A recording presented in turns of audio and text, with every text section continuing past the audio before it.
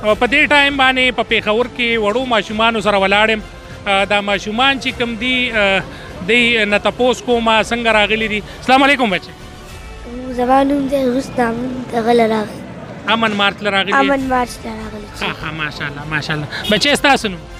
سندس سندس او امن مارت راغلی او سړي پکې وکړه اسا ها او سراج الحق صاحب دی ولیدو او ها ها بچي تاسو نوم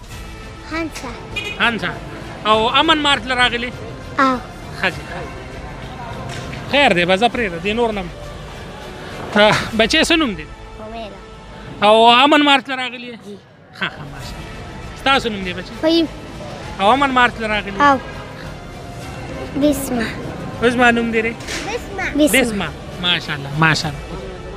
بل یو مرګري سره ولاړیو د امن مارچ حواله سره راغلی دلته موجود دی دا راته وایي چې امن مارچ حواله سره چې دا کومه دماکی کیږي په پیښور کې بدمنی دا دی حواله سره خبرو بسم الله الرحمن الرحیم ډیره مننه ډیره شکریا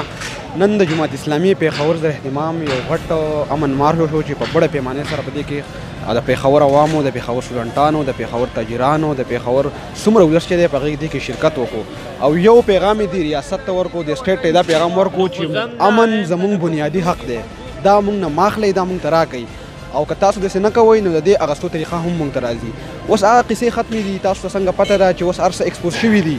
دا ناره نن سبا ډیره وایرل ده چې یو جو نامعلوم ہے یی هم معلوم ہے نو دا هر څه په یو پلانینګ تحت منې کیږي دا لانچ کیږي دا ارینج کیږي نو مونږ دا نور قصې نه منو هر څه بس دا پوره شوي دي نور د پښتنو سره ظلم مکوئ که تاسو چېرې دا ظلم کوئ نو پښتانه به تاسو په یو ملک یو خانه جنګي به جوړ شي دلته به سپریشن جوړ شي نو تاسو ته موږ د ریاست ته درخواست کوو چې څومره دي نو تاسو به دا موږ ته امن راکړئ ډیره مهرباني جی ډیره مننه ډیره